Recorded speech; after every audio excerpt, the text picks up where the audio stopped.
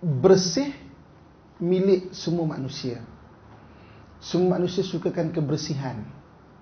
Dalam hadis Nabi sallallahu alaihi wasallam, Nabi sendiri sebut an-nadhafatu minal iman, kebersihan sebahagian daripada iman.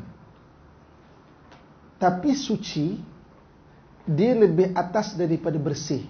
Suci ni perkara agama. Jadi konsep bersih semua manusia suka bersih.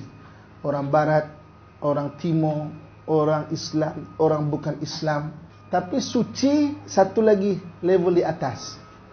Kan? Dia adalah perkara yang dibahaskan, ditakrifkan oleh agama. Kadang-kadang kita tengok satu benda tu bersih. Tapi tidak suci. Contoh hari ini, anak-anak kita yang umur tujuh tahun, yang belum lagi pandai menjaga air kencing dia kan. Dia pun kencing, terpercik.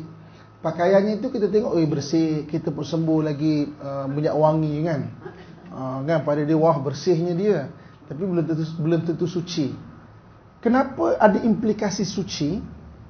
Sebab suci ni dia bukan berkaitan untuk diri kita semata-mata macam mana bersih. Dia berkaitan dengan ibadah kita penyembahan kita kepada Allah Subhanahu wa taala. Dia ada implikasi ibadah. Suci dia ada implikasi ibadah bersih dia untuk kita untuk sekeliling kita dia tidak ada implikasi kepada hubungan kita dengan Allah Subhanahu Wa Taala. Ha, so jadi benda-benda yang berkaitan suci dan benda-benda berkaitan dengan lawan kepada suci iaitu najis, dia ada cara mengendalikan dan menguruskan dia. Yang orang-orang yang tidak belajar takkan faham. Okey, hanya orang yang belajar sahaja. Macam kita sebagai orang Islam memang diajar bersih dan juga suci itu. Sebab dia ada implikasi kepada ibadah kita.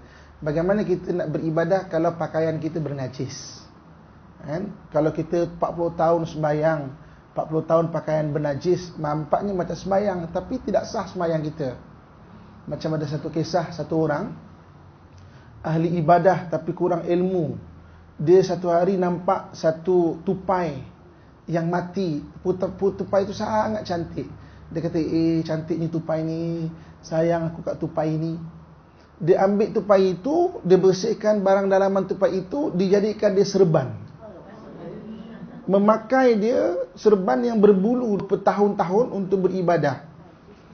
Bersih, tapi tidak suci. Sebab apa? Sebab yang dipakai, yang ditanggung itu najis.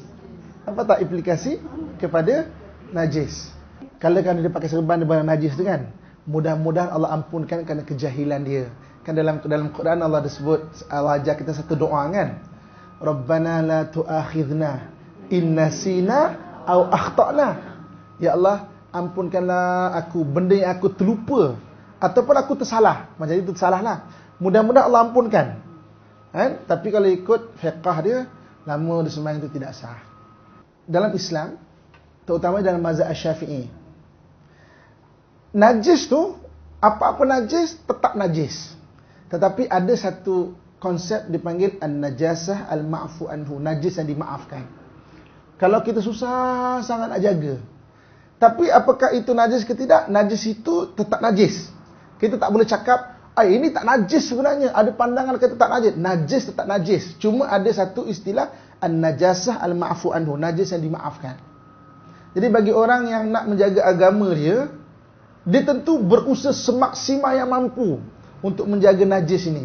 Contoh ginilah, baru ini isu katakanlah dobi contohnya kan. Dah tak mampu nak jaga. Kita niatlah mudah-mudahan dia sebagai najis yang dimaafkan. Tapi kita tak boleh kata itu halal, tak boleh. Sebab itu hukum. Kan? Kita tak boleh kata oh ini tak ada tak kisah, tak ada masalah pun. Ataupun baru ni buat gunting rambut kan. Gunting rambut. Kita gunting rambut pada orang bukan Islam contoh kan dan dia tak dia tak pakai yang kita tahu orang pakai Islam ada makan makanan yang mungkin najis ya najis barang agama kan. Tangan dia bersih suci pakai sabun. Tapi najis dia najis yang mughallazah ada cara penyucian dia kan. So kita kata oh tak apa sebenarnya. Bukan. Dia, dia bukan tak apa. Mudah-mudahan an najasa al mafu anu najis yang dimaafkan. Sebab mungkin nak cari tempat lain susah nak dapat. Tapi najis tetap najis. Tapi dimaafkan. Sebab susah nak jaga payah nak jaga